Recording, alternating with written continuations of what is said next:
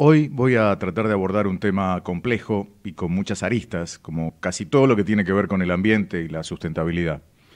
Eh, parece ser que el secretario de Energía de la Nación, Javier Iguacel, habría realizado comentarios en un evento desarrollado en la sede de Techín, donde le restaba valor e importancia a la inversión en, en energías renovables. Aparentemente el motivo era que Vaca Muerta nos va a dar gas barato. Si ahora hurgan en el Twitter del funcionario, verán elogios a la energía eólica y solar y también a la labor de vaca muerta. Si bien Iguacel no, nos tiene acostumbrados a declaraciones fuera de tono, como cuando derrapó en algún comentario sobre la suba de tarifas, hay que recordar que el gobierno nacional ha venido impulsando los planes renovar, las licitaciones y las adjudicaciones para incrementar en la Argentina la incipiente generación de energías limpias.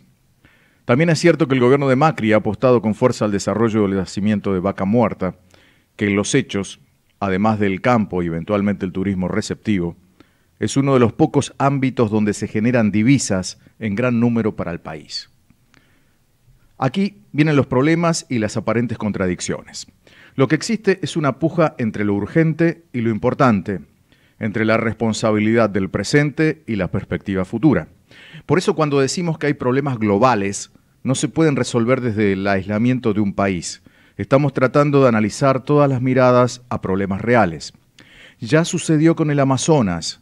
Brasil y el resto de los países sudamericanos que poseen en su territorio una porción de ese gran pulmón del planeta están obligados a conservarlo y mantenerlo, pero al mismo tiempo sus poblaciones tienen necesidades y hay intereses que buscan horizontes más rentables. Tal vez el mundo global debería compensar a esas naciones para que no destruyan el Amazonas, porque en definitiva todo el globo depende en gran parte de él. Lo mismo debería suceder con yacimientos de la envergadura de Vaca Muerta, una de las grandes reservas de combustible fósil con potencial de extracción no convencional. Está en suelo argentino, en el subsuelo argentino. Obviamente genera impacto ambiental, pero al mismo tiempo puede ser generación de divisas, empleo y desarrollo económico para una región es evidente que hay serios conflictos de intereses. Algunos de esos intereses escondidos pueden portar banderas verdes también. Europa prohibió el fracking porque seguramente no tiene nada que extraer ya de sus entrañas, así cualquiera. Muchos sectores desarrollados lo que no quieren es competencia, no es que les interese el medio ambiente. Por eso la visión debe ser necesariamente integral. Es verdad que tenemos que cambiar la matriz energética del país y en forma urgente. Es real que el cambio climático es un serio tema global, por eso la acción para que tenga los mínimos resultados debe encauzarse de manera coordinada por el espectro más amplio posible.